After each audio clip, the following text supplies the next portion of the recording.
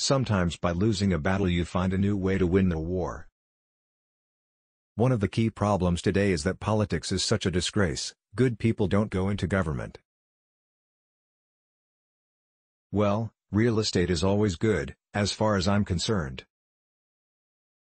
When somebody challenges you, fight back. Be brutal, be tough. It's always good to be underestimated. People are so shocked when they find out I am Protestant.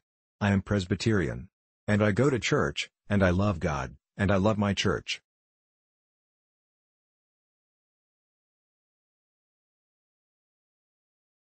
I've been making deals all my life.